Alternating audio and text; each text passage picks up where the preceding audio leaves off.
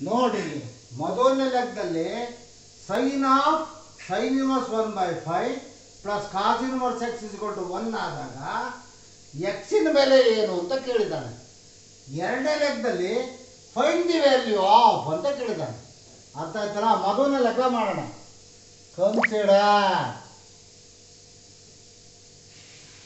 ಏನಂತಿದೆ? Sine of sine inverse one by five plus cos inverse x is equal to one sine inverse of one by five plus cos inverse x is equal to ಇದು ಈ ಕಡೆ ತಗೊಂಡೋದ್ರೆ sine inverse one ಅಂತ ಆಗುತ್ತೆ. Sine inverse one by five plus cos inverse x ಅಂದರೆ sine inverse one ಅಂದರೆ five by two ಆಗುತ್ತೆ. ಸರಿನಾ? ಆದ್ದರಿಂದ sine inverse one by five plus cos inverse x five by two ಹೇಗೆ ಬರೀಬೋದಾ? Sine inverse x plus cos inverse x ಬರಿಬೋದಾ? ನೋಡು, ಇದು ಮತ್ತು ಇದು ಗೆಟ್ಸ್ ಕ್ಯಾನ್ಸಲ್. ಉಳಿದಿರೋದು ಇವೆರಡಲ್ವಾ? Sine inverse one by five is equal to sine inverse x ಅಂತ. ನೋಡು, ಎರಡು ಕಡೆ ಸೈನ್ ಇನ್ವರ್ಸ್ ಸೈನ್ ಇನ್ವರ್ಸ್ ಇದೆ. ಅಂದ ಎಕ್ಸಿನ ಬೆಲೆ ಏನಾಯ್ತು? ಒನ್ ಬೈ ಫೈವ್ ಆಯ್ತು.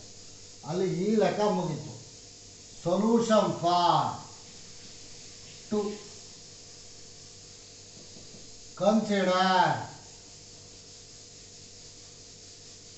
ಲೆಕ್ಕ ಬರ್ಕೊಳ್ತೀನಿ ಏನಂತಿದೆ tan inverse root three minus cot inverse minus root three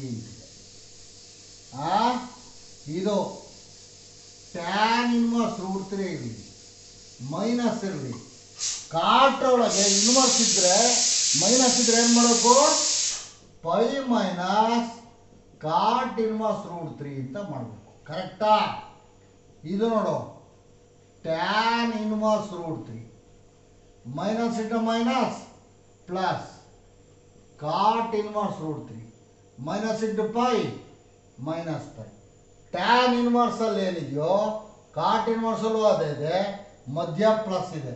ಅಂದ ಉತ್ತರ pi by two minus pi ಕರೆಕ್ಟಾ ಎರಡು ಎಲ್ ಸಿ ಎಂ ಎರಡು ಒಂದಲ್ಲ ಒಂದು ಇಂಟು ಪೈ ಅಂದರೆ ಪೈ ಇಲ್ಲೇನಿಲ್ಲ ಅಂದ್ರೆ ಒಂದು ಅಂತ.